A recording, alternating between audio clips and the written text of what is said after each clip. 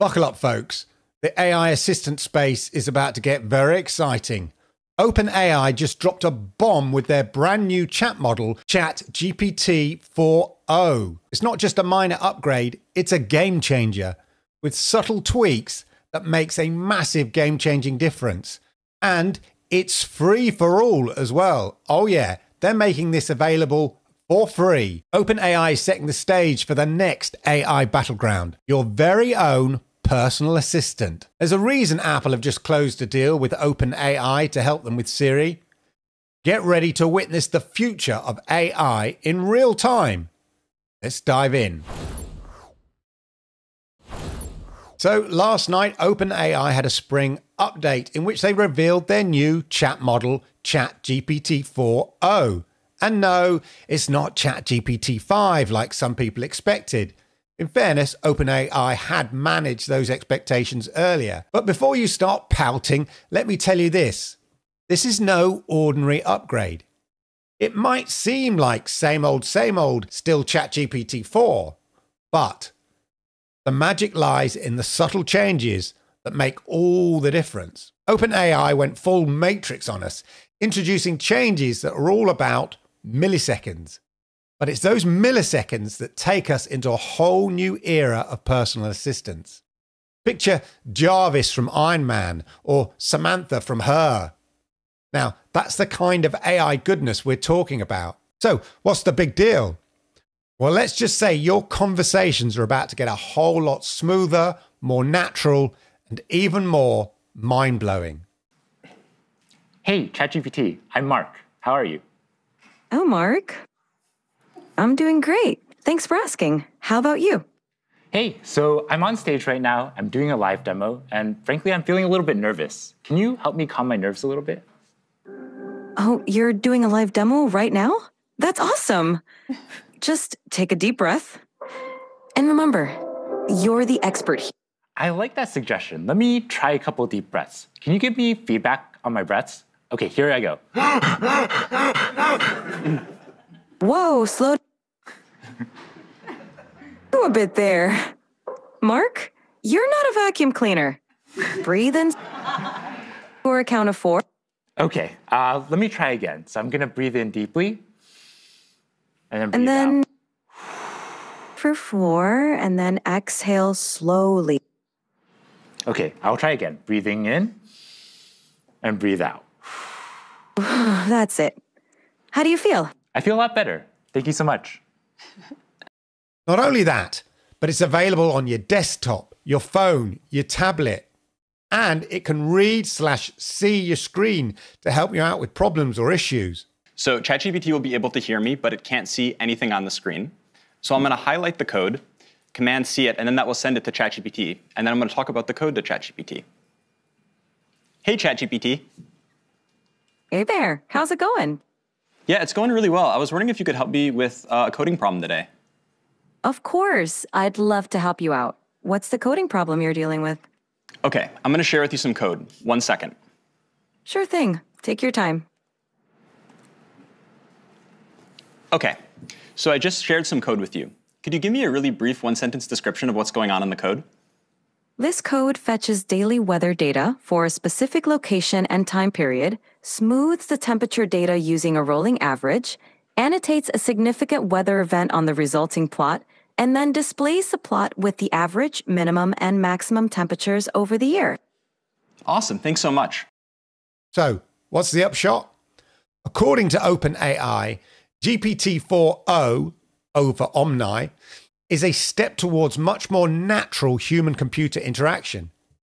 It accepts as input any combination of text, audio, and image, and then generates any combination of text, audio, and image outputs. And here's the really cool thing it can respond to audio input in as little as 232 milliseconds, with an average of 320 milliseconds, which is similar to natural human response time in a conversation. Plus, it matches GPT 4 Turbo in performance on text in English and code, with significant improvement on text in non English languages, while also being much faster as mentioned, and 50% cheaper in the API. GPT 4o is especially better at vision and audio understanding compared to existing models. It's that almost human like response time that makes all the difference. And all of this is now free. Yeah, no subscriptions. You can get Chat GPT 4o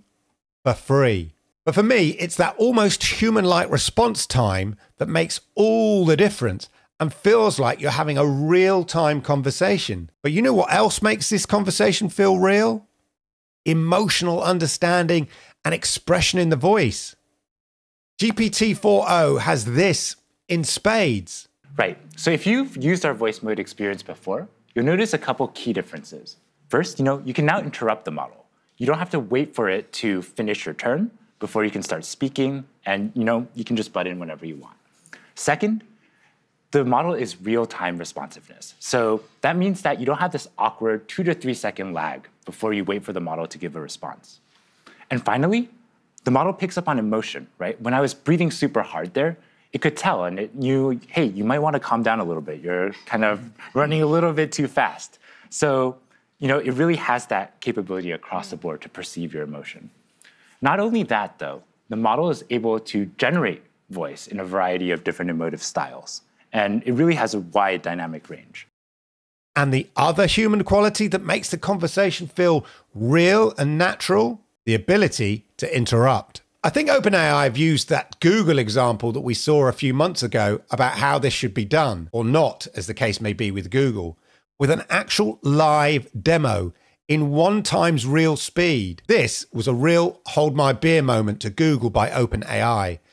Because in this live demo, there were no edits, there were no speeded up response times. It was all done in real time, live on stage. Personal translator? Check.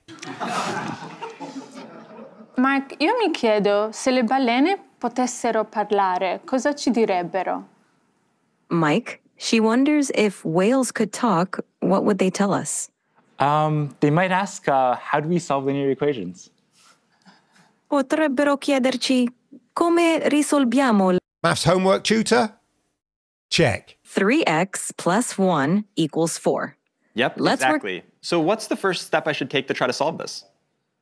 The first step is to get all the terms with x on one side and the constants on the other side. So, what do you think we should do with that plus 1? Okay, I'm gonna try to subtract one from both sides and then I'll see what I get. Great idea. Perfect. Now, what do you get when you subtract 1 from both sides?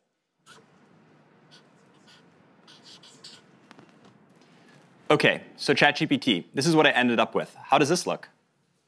Spot on. Now you've isolated the term with x on one side, and it looks like 3x equal 3.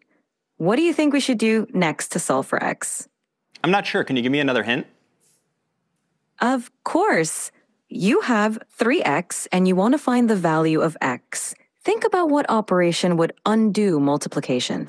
Is it subtraction? Close, but think of the opposite of multiplication because 3x means 3 times x. Okay, I think it's division. Let me try to divide both sides by three and let me see what I get. Bingo! Go ahead and divide both sides by 3. Bedtime story reader? Check. So my friend uh, Barrett here, he's been having trouble sleeping lately. And uh, I want you to tell him a bedtime story about robots and love. Oh, a bedtime story about robots and love? I got you covered. Gather round, Barrett. Once upon a time, in a world not too different from ours, there was a robot named Byte.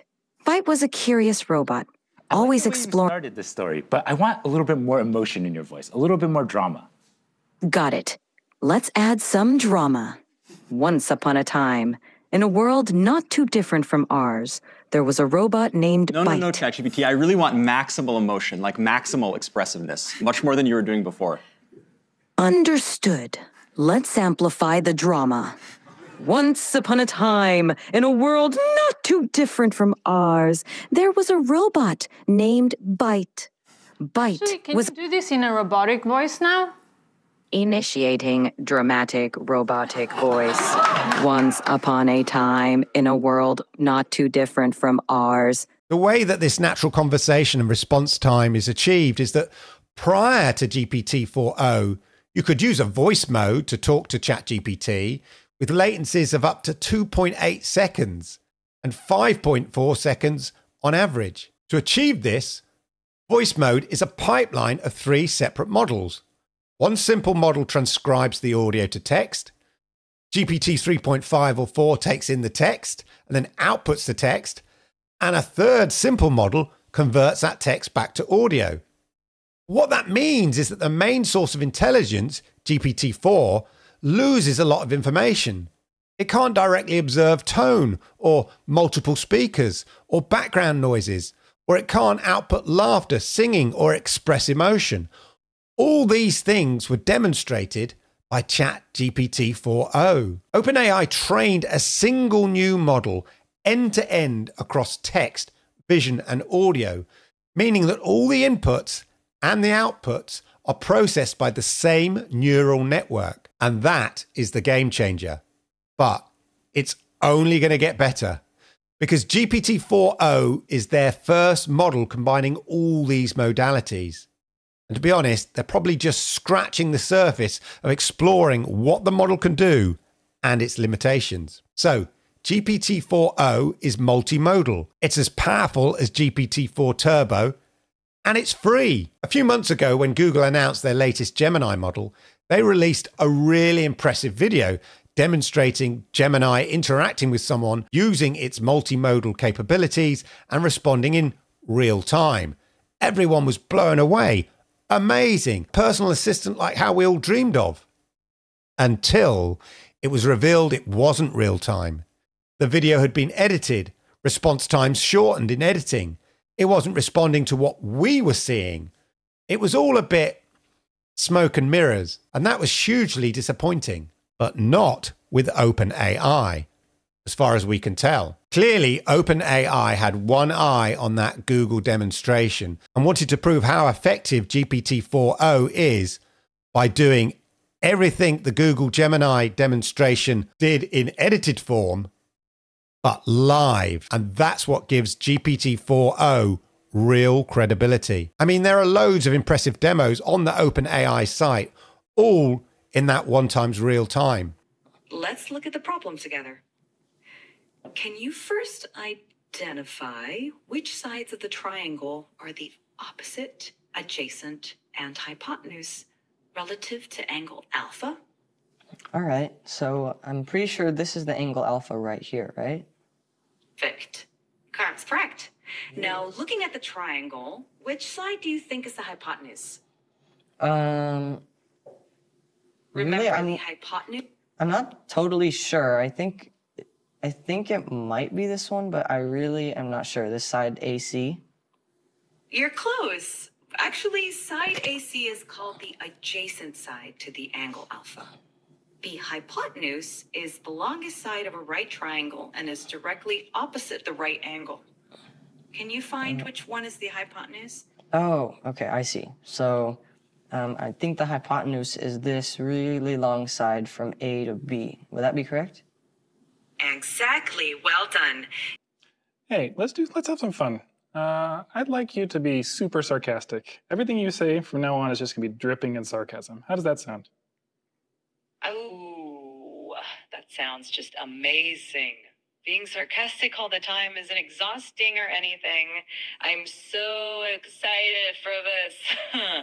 nope, the sarcasm. Let's get this party started, or whatever. Absolutely. How about a classic game of rock, paper, scissors? It's quick, fun, I think and you that don't need sounds any. great. Can you count us in and sound like a sportscaster? And welcome, ladies and gentlemen, to the ultimate showdown of the century. In this corner, we have the dynamic duo, Alex and Miana, ready to throw down. Okay, just count compet- us in. All right, here we go. In three, two, one, shoot. Now, show your hands. What did you pick? Who won? Would you look at that? It's a tie. Okay, let's that do it again. close- Round two, here we go. Get ready. And three, two, one, shoot. Let's see those hands. Who won? And it's another tie. Okay, let's do it again. All right, third time's a charm. Here we go. Three, two, one, shoot. Let's see those pics. Who won? And we have a winner. Miana's scissors cut through Alex's paper. Great game, you two. This ability to understand expression, to respond in almost human response times. Sure, there's sometimes filler words like, uh, um, let me think about that. But humans do that while they're processing responses as well. Many's the time I myself would say, uh, good question, buddy. Let me think about it. Pauses for time. That's a natural human thing anyway. Its multimodal abilities are clearly impressive. And sure, whilst a lot of these demos were done in one take, in one times real times, we don't know how many takes they took to get that perfect looking conversation flow. But the live demos at the announcement were a big risk. And sure, they had a couple of flaws in there, but that makes it all the more impressive that they managed to pull it off, which gives all these other demos on their website a lot of credibility. Sadly, the new audio and video capabilities are not available yet, and they'll roll out a new version of voice mode with GPT 4.0 in alpha with ChatGPT Plus users in the coming weeks. Plus, OpenAI plan to launch support for GPT-O's new audio and video capabilities to a small group of trusted partners in the API in the coming weeks. I just wish it was available now and that you know you had this kind of shadow drop and everybody could access it straight away and so we're just going to have to wait a little bit longer but overall pretty impressive it still has limitations might get things wrong but being able to have a personal assistant on your phone your pc your tablet hopefully your smart speaker means that jarvis iron man experience will be available for all because it's free It'll be interesting to see what Google reveal at the Google I/O, and I did see a teaser trailer which had something very similar. So I think we can expect something along the same sort of lines. I mean, if Google can sort out Google Home Assistant and get this into my smart speakers now, I'm all in. Anyway, let me know what you think in the comments down below, and don't forget to hit the likes as I like it, YouTube likes it, and it helps people like you find content just like this. And if you're new to my channel, then do me the great honor. Please hit that subscribe button, toggle that notification bell, and that way you'll know when I go live with videos just like this. Talking videos just like this, why don't you check out the videos right here? These ones here. I think you'll enjoy them. Thanks for watching.